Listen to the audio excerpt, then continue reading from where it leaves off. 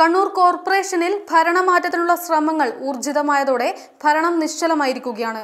കാലവർഷം കലിതുള്ളുമ്പോഴും കോർപ്പറേഷനിൽ ഇപ്പോൾ നടക്കുന്നത് രാഷ്ട്രീയ ചർച്ചകൾ മാത്രം. മഴയുടെ കെടുതികൾ വിലയിരുത്താൻ നടന്ന അവലോകനത്തെക്കാൾ കണ്ണൂർ കോർപ്പറേഷനിൽ നടന്നത് രാഷ്ട്രീയ അവലോകന യോഗമാണ്. ഭരണപക്ഷവും പ്രതിപക്ഷവും ഇക്കാര്യത്തിൽ ഒരുപോലെ തന്നെ. കൂടി നിൽക്കുന്നവരുടെയും ചാടിപ്പോകുന്നവരുടെയും എണ്ണമെടുക്കാനുള്ള തിരക്കാണിവിടെ. ഒപ്പം യോഗത്തിൽ കൃത്യമായി എത്താനുള്ള തന്ത്രങ്ങൾ മെനയുന്ന തത്രപ്പാടും. നഗരത്തിൽ റോഡുകൾ കുളമായിരിക്കുന്നു. തെരുവുപട്ടികൾ നഗരം കൈയടക്കുന്നു. കോർപ്പറേഷൻ കൗൺസിലർക്കുൾപ്പെടെ പട്ടിയോട് കടിയേറ്റു. ഒരു ചെറുവിരൽ പോലും കോർപ്പറേഷൻ അധികൃതരുടെ ഭാഗത്തു നിന്നും അനങ്ങിയിട്ടില്ല. ഈ മാസം പതിനേഴിന് അവിശ്വാസ പ്രമേയം ചർച്ചയ്ക്കെടുക്കുകയാണ്.